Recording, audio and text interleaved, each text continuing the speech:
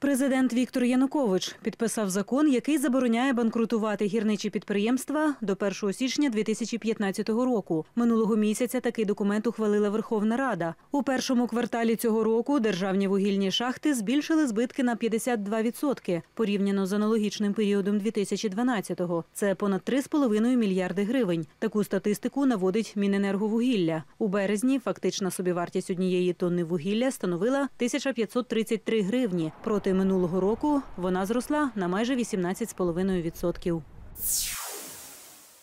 В Україні стрімко скорочується виробництво автомобілів за перший квартал на 170% у річному виразі до понад 6 тисяч 970 одиниць. Повідомляє асоціація Укравтопром. Експерти пояснюють це тим, що деякі вітчизняні підприємства простоювали на початку року. За цей період заводи випустили майже 6 тисяч 430 легкових автомобілів, 244 вантажівки та близько 300 автобусів. Загалом торік українські підприємства випустили більш як 76 тисяч авто. Це на третину менше порівняно з аналогічним періодом роком раніше. Автовиробники сподіваються, що після введення 13 квітня спецмит на імпортні легкові автомобілі з об'ємом двигуна від 1 до 2,2 літра ситуація в галузі покращиться.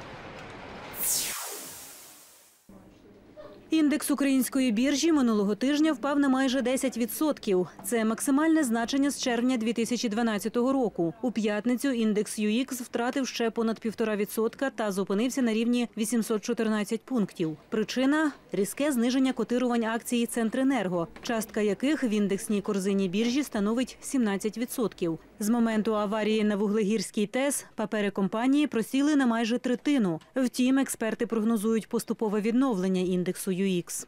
После стремительного падения индекса украинской биржи на прошлой неделе мы ожидаем небольшой ежедневный рост в пределах 1,5%. Влияние на рынок может оказать результаты собрания акционеров крупных эмитентов. По некоторым из них э, ожидается принятие решения о выплате дивидендов. Это окажет поддержку отечественному фондовому рынку. Запоріжсталь виходить на бразильський ринок. Металургійний комбінат розпочав туди поставки холоднокатаного прокату. В рамках контракту експортують 5 тисяч тонн цієї продукції. У компанії кажуть, поставки на бразильський ринок почали через проблеми на традиційних ринках. Підприємство продає за кордон 70% виробленої продукції, 15% обсягів виробництва постачають в країни СНД, приблизно стільки ж у Туреччину, ще близько 10% в Африку та на Близький Схід. 2012 рік завод Запоріжсталь, що входить у холдинг Метінвест Ріната Ахметова, закінчив зі збитками у 2 мільярди гривень. Компанія Visa сертифікувала п'ять українських банків на прийом безконтактних карт із технологією PayWave. Першими такі картки прийматимуть банк Південний, Ощадбанк, Укрексімбанк, Райфайзенбанк Аваль та Унікредитбанк. Технологія PayWave дозволяє робити платежі майже миттєво у всіх торговельних точках, обладнаних безконтактними пристроями, які зчитують інформацію з картки. При цьому її не потрібно вставляти в платіжний термінал, а при транзакціях на суму до 200 гривень розписуватися на чеку або вводити пін-код. Вперше технологію PayWave компанія Visa презентувала в 2004 році. З того часу безконтактний формат працює в більш як 50 країнах світу. Агрохолдинг Овостар Юніон залучив 10 мільйонів євро кредиту. Довгострокову позику на 7 років видав німецький Landesbank Берлін під гарантії компанії Оулер Hermes Deutschland. Гроші витратять на закупівлю обладнання та будівництво нових пташників. Роботи планують завершити вже цього року. У 2013-му Овостар Юніон має намір збільшити виробництво яєць на 25-40% до майже 1 мільярда штук порівняно з минулим роком. До групи компаній входить сім підприємств. Серед них птахофабрики Україна та Ставищанська, завод яєчних продуктів «Овостар» і торговий дім Золоте Курча.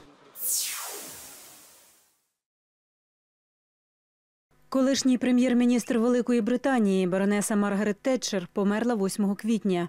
Їй було 87 років. Повідомляють, що причиною смерті став інсульт. Залізна леді закінчила Оксфордський університет. У 1959 році була обрана депутатом Палати громад. У 1975-му очолила консервативну партію, а через чотири роки стала першою жінкою прем'єр-міністром Великої Британії. Перебувала на цій посаді понад 10 років. Поховають Тетчер на кладовищі королівського шпиталю в Челсі поряд з чоловіком, який помер 10 років тому. Злиття двох найбільших банків Греції National Bank of Greece та Євробанк поки відклали. Уряд країни ухвалив таке рішення через невдоволення міжнародних кредиторів планами інтеграції обох фінустанов. Наразі їх планують рекапіталізувати окремо. Ринок цього не очікував. Експерти сумніваються, що об'єднання National Bank of Greece та Євробанку відбудеться як планували раніше. Найімовірніше, уряд взагалі скасує його, кажуть аналітики. Загалом обидва банки потребують понад 15,5 мільярдів євро, щоб підтримати свою платоспроможність.